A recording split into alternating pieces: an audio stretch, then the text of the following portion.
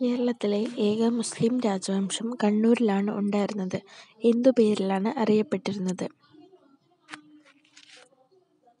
ഉത്തരം അറയ്ക്കൽ. ഐക്യരാഷ്ട്ര സംഘടനയുടെ ആഭിമുഖ്യത്തിൽ ആയിരത്തി ആയിരത്തിത്തൊള്ളായിരത്തി തൊണ്ണൂറ്റിരണ്ടിൽ നടന്ന ആദ്യ ഭൗമ ഉച്ചകോടി എവിടെ വെച്ചായിരുന്നു ഉത്തരം റിയോഡി ജനീറോ.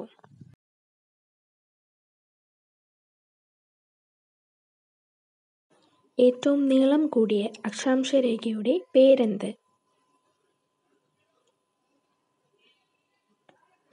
ഉത്തരം ഭൂമധ്യരേഖ അഥവാ ഇക്വേറ്റർ.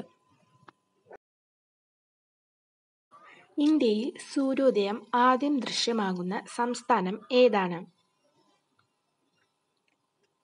ഉത്തരം അരുണാചൽ പ്രദേശ്.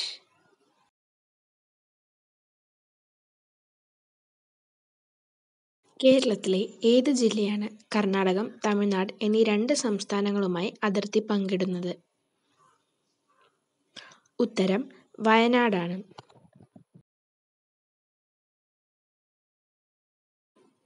കേരളവർമ്മ പഴശ്ശിരാജയെ ബ്രിട്ടീഷ് വിരുദ്ധ പോരാട്ടങ്ങൾക്ക് സഹായിച്ച പ്രധാന ആദിവാസി വിഭാഗം ഏതാണ്?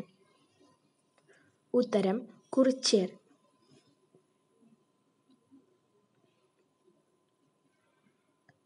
കേരളത്തിലെ ഏക പീഠഭൂമി ഏത് ജില്ലയിലാണ്? ഉത്തരം വയനാട്. അടുത്ത ചോദ്യം. ആയിരത്തി എണ്ണൂറ്റി അമ്പത്തി ഏഴിലെ ഒന്നാം സ്വാതന്ത്ര്യസമരത്തെ ഇന്ത്യക്കാർ വിശേഷിപ്പിച്ചത് എങ്ങനെയായിരുന്നു? ഉത്തരം മഹത്തായ വിപ്ലവം എന്നായിരുന്നു അവർ വിശേഷിപ്പിച്ചത്. വരിക വരിക സഹചരി കേരളത്തിലെ ഉപ്പു സത്യാഗ്രഹ വേളയിൽ മുഴങ്ങിയ ഈ വരികൾ ആരുടേതാണ്?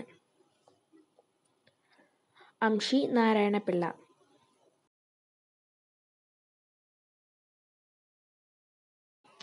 ഭൂപടങ്ങളെക്കുറിച്ച് പഠിക്കുന്ന ശാസ്ത്രശാഖ ഏതാണ്? ഉത്തരം കാർട്ടോഗ്രഫി.